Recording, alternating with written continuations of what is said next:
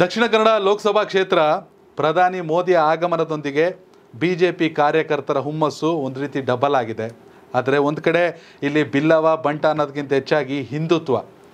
ಹಿಂದುತ್ವ ಅತಿ ದೊಡ್ಡ ಮಟ್ಟದಲ್ಲಿ ಚರ್ಚೆ ಆಗುವಂತಹ, ಅತಿ ದೊಡ್ಡ ಮಟ್ಟದಲ್ಲಿ ಸ್ಟ್ರಾಟಜಿ ಮಾಡುವಂಥ ಲೆಕ್ಕಾಚಾರ. ಬಿ ಜೆ ಪಿಯಿಂದ ಬ್ರಿಜೇಶ್ ಚೌಟ ಕ್ಯಾಪ್ಟನ್ ಬ್ರಿಜೇಶ್ ಚೌಟ ಕಾಂಗ್ರೆಸ್ನಿಂದ ಪದ್ಮರಾಜ್, ಜನಾರ್ದನ್ ಪೂಜಾರಿ ಅವರ ಶಿಷ್ಯ. ಹೇಗೆ ನಡೀತಾ ಇದೆ ಲೆಕ್ಕಾಚಾರ? ಸೊ ನಡೀತಾ ಇದೆ. ಇದು ಬಿಜೆಪಿಗೆ ಫಾರ್ ದ ಫಸ್ಟ್ ಟೈಮ್ ದೊಡ್ಡ ಮಟ್ಟಿಗಿನ ವಿರೋಧದಲ್ಲಿ ಏನು ಅಂತಂದ್ರೆ ಈಗ ನಳಿನ್ ಕುಮಾರ್ ಕಟೀಲ್ ಅವರನ್ನು ಬದಲಾಯಿಸಿರು ಬ್ರಿಜೇಶ್ ಚೌಟ್ ಅವರು ಟಿಕೆಟ್ ಕೊಟ್ಟಿದ್ದಾರೆ. ಹೌದು. ಸೊ ಬಂಟ ವರ್ಸಸ್ ಬಿಲ್ಲವ ಅನ್ನೋ ರೀತಿಯ ಒಂದು ಚುನಾವಣಾ ಇದಕ್ಕೆ ತಿರುವು ಕೊಡ್ತಾ ಇದ್ದಾರೆ ಕಾಂಗ್ರೆಸ್ಸಿಗರು. ಮುಸ್ಲಿಂ ಮತದಾರರು ಕ್ರಿಶ್ಚಿಯನ್ ಮತದಾರರು ಮತ್ತೆ ಹೆಚ್ಚಾಗಿದ್ದಾರೆ. ಜೊತೆಗೆ ಬಿಲ್ ಅವರು ಹಿಂಗೆ ಸೇರ್ಕೊಂಡ್ರೆ ರಿಸಲ್ಟ್ ಮಾಡಬಹುದು ಅನ್ನೋ ಕ್ಯಾಲ್ಕುಲೇಷನ್ ಇದ್ದಾರೆ.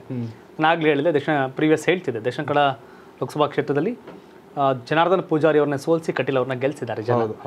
ವ್ಯಕ್ತಿಗತವಾಗಿ ಬಂದಾಗ ಕಟೀಲ್ ಏನು ಅಲ್ಲ. ಸೊ ಇಲ್ಲಿ ಮುಖ್ಯ ಪಕ್ಷ ಆ ಪಕ್ಷ ಹಿಂದುತ್ವದ ಆಧಾರ. ಬಟ್ ಆ ಹಿಂದುತ್ವದ ಆಧಾರಕ್ಕೆ ಸ್ವಲ್ಪ ಪೆಟ್ಟು ಬಿದ್ದಂಗೆ. ಸತ್ಯಜಿತ್ ಸುರತ್ಕಲ್ ಹೌದು. ಆ, ಸೌಜನ್ಯ ಪ್ರಕರಣ. ಹೌದು.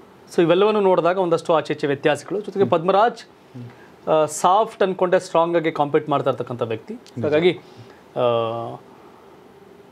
ಕಾಂಗ್ರೆಸ್ಸಿಗರು ಅವರು ಪ್ರಾಮಾಣಿಕ ಪ್ರಯತ್ನವನ್ನು ಅವ್ರು ಮಾಡ್ತಾವ್ರೆ. ಬಿಜೆಪಿಯ ಹಿಂದುತ್ವದ ಆ ಒಗ್ಗಟ್ಟಿತ್ತಲ್ಲ ಆ ಒಗ್ಗಟ್ಟಲ್ಲಿ ಸಣ್ಣ ಬಿರುಕಿದೆ. ಹೌದು ಸತ್ಯಜಿತ್ ಸೂರತ್ಕಲ್ಲು ಅರುಣ್ ಕುಮಾರ್ ಪುತ್ತಲೆ ಯಾರು ಏನೇ ಹೇಳ್ಬೋದಿಲ್ಲ ಹೌದು. ಯಾರು ಏನೇ ಹೇಳ್ಬಹುದೇನೋ ಸೊ ಆದರೆ ಇಲ್ಲೊಂದು ಸ್ವಲ್ಪ ವ್ಯತ್ಯಾಸಗಳು ಕಾಣ್ತಾ ಇದೆ. ಹೌದು. ಸತ್ಯಜಿತ್ ಸರತ್ಕಲ್ ಮೂರು ಓಟಿಲ್ಲ ಅನ್ಬೋದೇನೋ. ಹ್ಮ್. ಹ್ಮ್. ಮಹೇಶ್ ಶೆಟ್ಟಿ ತಿಮ್ರೋಡಿ ಸೌಜನ್ಯ ಪ್ರಕರಣ ಏನೂ ಆಗಲ್ಲ ಅನ್ಬೋದೇನೋ. ನಿಮ್ಗೆ ಗೊತ್ತಿರಲಿ? ಒಂದು ಓಟು ಎರಡು ಓಟಲ್ ಗೆದ್ದಂತ ಸೋತಂತ ಇತಿಹಾಸಗಳಿದೆ. ಹೌದು. ಇತಿಹಾಸಗಳಿದೆ. ಸೊ ಹಾಗಾಗಿ ಯಾವುದನ್ನು ನೆಗ್ಲೆಕ್ಟ್ ಮಾಡೋ ಹಾಗಿಲ್ಲ. ಒಂದ್ ಒಂದು ಅಟ್ಲೀಸ್ಟ್ ಇಪ್ಪತ್ತು ಸಾವಿರ ಮೂವತ್ತು ಸಾವಿರ ನಲ್ವತ್ತು ಸಾವಿರ ಐವತ್ತು ಸಾವಿರ ಓಟು ಬಿ ಜೆ ಪಿ ಪಾಕೆಟ್ಟಿಂದ ಹೌದು. ಈಗ ಒಂದು ಲಕ್ಷ ಅಂತರ ಇದೆ ಅಂತ ತಿಳ್ಕೊಳ್ಳಿ. ಹೌದು. ಒಂದು ಏಳು lakh Congress B J P ಒಂದು ಆರು ಲಕ್ಷ ಕಾಂಗ್ರೆಸ್ ಇದ್ದಾಗ ಹಿಂದುತ್ವದ ಐವತ್ತು ಸಾವಿರ ಮತ ಬಿ ಜೆ ಪಿ ಪಾಕೆಟಿಂದ ಕಾಂಗ್ರೆಸ್ ಬಂದ್ರೆ ಟೈ ಆಗುತ್ತಲ್ಲ? ಟೈ ಆಗ್ಬಿಡುತ್ತೆ ಹೌದು. ಐವತ್ತೊಂದು ಸಾವಿರ ಬಂದರೂ ಸಾಕಲ್ಲ? ಹೌದು. ಸೊ ಈ ಕಾರಣಕ್ಕೆ ರಾಜಕಾರಣದಲ್ಲಿ ಏನು ಬೇಕಾದ್ರೂ ಆಗ್ಬೋದು. ನನ್ನ ಪ್ರಕಾರ ದಕ್ಷಿಣ ಕನ್ನಡ ಟಫ್ ಫೈಟ್ ಆಗಿ ಹಿಂದೆ ಆರಾಮಾಗಿ ಗೆದ್ಕೋಬಾರ ನಳಿನ್ ಕುಮಾರ್ ಕಟೀಲ್ ಮನೆ ಮಲಗಿದ್ರು ಚುನಾವಣೆ ಗೆಲ್ಲೋರು ಅಂತ ಸನ್ನಿವೇಶ. ಈ ಬಾರಿ ಅಖಾಡದಲ್ಲಿ ಓಡಾಡಲೇಬೇಕಾದಂಥ ಸನ್ನಿವೇಶ ಇದೆ. S C P vote candidate ಹಾಕಿಲ್ಲ ಸಪೋರ್ಟು ಅವ್ರದ್ದೊಂದು ಮೂವತ್ತು ನಲ್ವತ್ತು ಸಾವಿರ ಐವತ್ತು ಸಾವಿರ ಓಟ್ ಅವ್ರಿಗೆ ಹೌದು. ಪ್ಲಸ್ ಆಗುತ್ತಲ್ಲ? ನೋಡ್ಬೇಕೇನಾಗುತ್ತೆ ಹೌದು.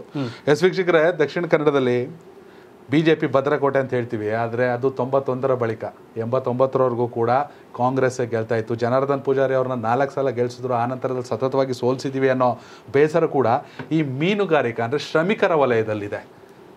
ಎಜುಕೇಟೆಡ್ಗಳಲ್ಲ. ಹೀಗಾಗಿ ಏನು ಬೇಕಾದ್ರೂ ವ್ಯತ್ಯಾಸಗಳಾಗ್ಬೋದು. ಜೊತೆಗೆ ಅಲ್ಪಸಂಖ್ಯಾತರ ಒಟ್ಟು ನಾಲ್ಕು ಲಕ್ಷ ಆಲ್ಮೋಸ್ಟ್ ಬರೀ ಮುಸ್ಲಿಂ ಓಟೆ. ಅಲ್ಲ ಇವ- ಇವ್- ಇವತ್ತಿನವರೆಗೂ ಮುಸ್ಲಿಮ್ಸ್ ಏನ್ ಬಿಜೆಪಿ ಓಟ್ ಹಾಕಿಲ್ಲ. ಕಾಂಗ್ರೆಸ್ಗೆ ಹಾಕ್ತಿದ್ರು. ಕ್ರಿಶ್ಚಿಯನ್ ಕ್ರಿಶ್ಚಿಯನ್ಸ್ ಏನ್ ಬಿಜೆಪಿಗೆ ಹಾಕ್ತಿರ್ಲಿಲ್ಲ. ಹೌದು. ಕಾಂಗ್ರೆಸ್ಗೆ ಹಾಕರು. ಆದ್ರೆ ಬಿಲ್ ಅವರು ತಮ್ಮ ಜಾತಿಯನ್ನ ಹೊರತುಪಡಿಸಿ ಧರ್ಮಾಧಾರಿತವಾಗಿ ವೋಟ್ ಮಾಡೋರು. ಹೌದು. ಜೊತೆಗೆ ಹಿಂದುತ್ವ ಅನ್ನೋ ಕಾರಣಕ್ಕೆ ಮಹೇಶ್ ಶೆಟ್ಟಿ ತಿಮ್ರೋಡಿ ಅವ್ರದೆಲ್ಲ ನಡೀತಾ ಇತ್ತು. ಅವರೆಲ್ಲ ಸೌಜನ್ಯ ಪ್ರಕರಣ ಆದ್ಮೇಲೆ ಅವರು ಸ್ಟ್ರಾಂಗ್ ಆಗಿ ಎಗನೆಸ್ಟ್ ಬಿಜೆಪಿ ಆಗಿ ಒಂದಷ್ಟು ವ್ಯತ್ಯಾಸಗಳಲ್ಲಿ ಇದಿದೆ ಸೊ ಹಾಗಾಗಿ ಈ ಎಲ್ಲ ಅಂಶಗಳು ಟಫ್ ಫೈಟ್ ಬರುತ್ತೆ. ಅಂತರ ಹೇಳಿದ್ನಲ್ಲ ನಿಮ್ಗೆ. ಒಂದು ಲಕ್ಷ ಅಂತರ ಒಂದ್ ಲಕ್ಷ ಓಟ್ ತಗೋಬೇಕು ಅನ್ನೋದೇ ಸುಳ್ಳು. ಒಂದ್ ಲಕ್ಷ ಅಂತರ ಇದ್ರೆ ಐವತ್ತೊಂದ್ ಸಾವಿರ ಓಟ್ ಬಂದು ಸಾಕು ಆಪೋಸಿಟ್ಗೆ ಹೌದು ಹೌದು. ಸೊ ಇದು ಈಗಲೂ ಒಂದ್ ಹೆಜ್ಜೆ ಹೌದು. ಬಿಜೆಪಿಗೆ ಅಂತರದಲ್ಲಿದ್ದಾರೆ ಆದ್ರೆ ಆ ಸತ್ಯಜಿತ್ ಸುರತ್ಕಲ್ ಮಹೇಶ್ ಶೆಟ್ಟಿ ಸೌಜನ್ಯ ಪ್ರಕರಣದ ಪ್ರಭಾವ ಎಷ್ಟರ ಮಟ್ಟಿಗಿದೆ? ಅನ್ನೋದ್ರ ಮೇಲೆ ಫಲಿತಾಂಶ ನಿರ್ಧಾರ ಆಗುತ್ತೆ. ಹೌದು. ಅಷ್ಟೇ. ಹೌದು. ಎಸ್ ವೀಕ್ಷಕರ ನಿಮ್ಮ ಪ್ರಕಾರ ಯಾಕೆಂದ್ರೆ ಅರುಣ್ ಕುಮಾರ್ ಪುತ್ತಿಲ ವಾಪಸ್ ಬಿಜೆಪಿ ಹೋಗಿದ್ದಾರೆ. ಹೋಗಿದ್ದಾರೆ. ಅರೆ ಎಷ್ಟು ಮನಸ್ಸಿಂದ ಹೋಗಿದ್ದಾರೆ ಅದು ಮುಖ್ಯ. ಸಿ ಟಿ ರವಿನೂ ಬಿಜೆಪಿಲೇ ಉಳ್ಕೊಂಡವ್ರೆ. ಅಲ್ಲ ಉಳ್ಕೊಂಡವ್ರು ಬಿಜೆಪಿಲೇ ಅವರೇ. ಕೆಲವು ಮಾಡಬೇಕಾಗುತ್ತೆ. ಏನು ಮಾಡೋಕ್ಕಾಗಲ್ಲ. ಪ್ರತಾಪ್ ಸಿಂಹ ಎಲ್ಲರೂ ಎಸ್ ವೀಕ್ಷಕರ ನಿಮ್ಮ ಪ್ರಕಾರ ದಕ್ಷಿಣ ಕನ್ನಡದ ಸಂಸದರು ಯಾರಾಗಬೇಕು? ಬಿಜೆಪಿಯಿಂದ ಬ್ರಿಜೇಶ್ ಚೌಟಾನ ಕಾಂಗ್ರೆಸ್ ಇಂದ ಪದ್ಮರಾಜ. ಹಾಗೆ ಯಾರು ಪ್ರಧಾನಿ ಆಗಬೇಕು? ನರೇಂದ್ರ ಮೋದಿ ಅವರ ರಾಹುಲ್ ಗಾಂಧಿನ ಕಾಮೆಂಟ್ ಮೂಲಕ ತಿಳಿಸಿ ಧನ್ಯವಾದಗಳು. ಇದು ಕರ್ನಾಟಕ ಟಿವಿ ಕನ್ನಡಿಗರ ಧ್ವನಿ. ಜನ ಪ್ರತಿದಿನ ಟೈಮ್ ಸರಿಯಾಗಿ ಊಟ ಮಾಡ್ತಾರೋ ಬಿಡ್ತಾರೋ. ಆದರೆ ಪೊಲಿಟಿಕಲ್ ಟ್ರೆಂಡ್ ಏನಿದೆ ಅಂತ ಪ್ರತಿದಿನ ಪ್ರತಿ ಕ್ಷಣ ಕಾಯ್ತಿರ್ತಾರೆ. ಕರ್ನಾಟಕದ ಆಕಾರದಲ್ಲಿ ಯಾವ ಅಭ್ಯರ್ಥಿ ಅಬ್ಬರಿಸಿದ್ರು ಮತ್ಯಾವ ಅಭ್ಯರ್ಥಿ ತತ್ತರಿಸಿದ್ರು ಅಂತ ನೋಡೋಕೆ ಕಾತರದಿಂದ ಕಾಯ್ತಿರ್ತಾರೆ. ಇಪ್ಪತ್ತೆಂಟು ಕ್ಷೇತ್ರಗಳ ಪ್ರತಿದಿನದ ಪಬ್ಲಿಕ್ ಪಲ್ಸ್ ಏನು, ಪ್ರಚಾರದಲ್ಲಿ ಯಾರ ಮುಂದೆ, ಯಾರ ಹಿಂದೆ, ಎಲ್ಲ ಮಾಹಿತಿಯನ್ನ ನಾವು ಕೊಡ್ತೇವೆ. ಕರ್ನಾಟಕ ಕುರುಕ್ಷೇತ್ರ ಇಪ್ಪತ್ತೆಂಟು ಕ್ಷೇತ್ರಗಳ ಡೈಲಿ ನ್ಯೂಸ್. ಪ್ರತಿದಿನ ರಾತ್ರಿ ಎಂಟು ಗಂಟೆಗೆ. ಯೂಟ್ಯೂಬ್ನಲ್ಲಿ ಕರ್ನಾಟಕ ಟಿವಿ ಅಂತ ಸರ್ಚ್ ಮಾಡಿ, ನಂತರ ನಮ್ಮ ಕರ್ನಾಟಕ ಟಿವಿ ಸಬ್ಸ್ಕ್ರೈಬ್ ಮಾಡಿ, ಸಬ್ಸ್ಕ್ರೈಬ್ ಆದ್ಮೇಲೆ ನಿಮಗೆ ಹೋಮ್ ಪೇಜ್ ಬಂದರೆ ಕಮ್ಯುನಿಟಿ ಅನ್ನೋ ಆಪ್ಷನ್ ಸಿಗುತ್ತೆ. ಈ ಕಮ್ಯುನಿಟಿ ಆಪ್ಷನ್ ಕ್ಲಿಕ್ ಮಾಡಿದ್ರೆ ನಿಮ್ಮ ಕೆಳಗಡೆ ಇಪ್ಪತ್ತೆಂಟು ಲೋಕಸಭಾ ಕ್ಷೇತ್ರಗಳ ಒಂದು ಪೋಲ್ ಕ್ರಿಯೇಟ್ ಮಾಡಲಾಗಿದೆ.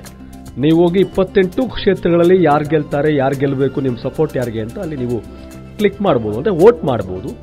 ಇಲ್ಲೇನು ವೋಟಿಂಗ್ ಆಗುತ್ತೆ, ನಾವು ಪ್ರತಿದಿನ ನಾವು ನ್ಯೂಸಲ್ಲಿ ನಿಮಗೆ ಅಪ್ಡೇಟ್ ಮಾಡ್ತಿರ್ತೀವಿ. ಇದು ಮತದಾನದ ದಿನದವರೆಗೂ ಕೂಡ ಈ ಪೋಲಿಂಗ್ ಓಪನ್ ಇರುತ್ತೆ.